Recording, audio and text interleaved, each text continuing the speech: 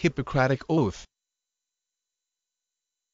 Hippocratic Oath, one of the oldest binding documents in history, the oath written by Hippocrates is still held sacred by physicians, to treat the ill to the best of one's ability, to preserve a patient's privacy, to teach the secrets of medicine to the next generation, and so on. There are many versions of the Hippocratic Oath. We here present two versions. First, the classic version or more precisely, one translation of the original oath. And then, following it, is presented one of the fine modern versions of the Hippocratic Oath. Classic version of the Hippocratic Oath I swear by Apollo physician and Asclepius and Hygieia and Panaceia and all the gods and goddesses, making them my witnesses, that I will fulfill according to my ability and judgment this oath and this covenant, to hold him who has taught me this art as equal to my parents and to live my life in partnership with him, and if he is in need of money to give him a share of mine, and to regard his offspring as equal to my brothers in male lineage and to teach them this art.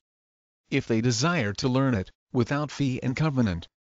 to give a share of precepts and oral instruction and all the other learning to my sons and to the sons of him who has instructed me and to pupils who have signed the covenant and have taken an oath according to the medical law, but no one else. H I P P O C R A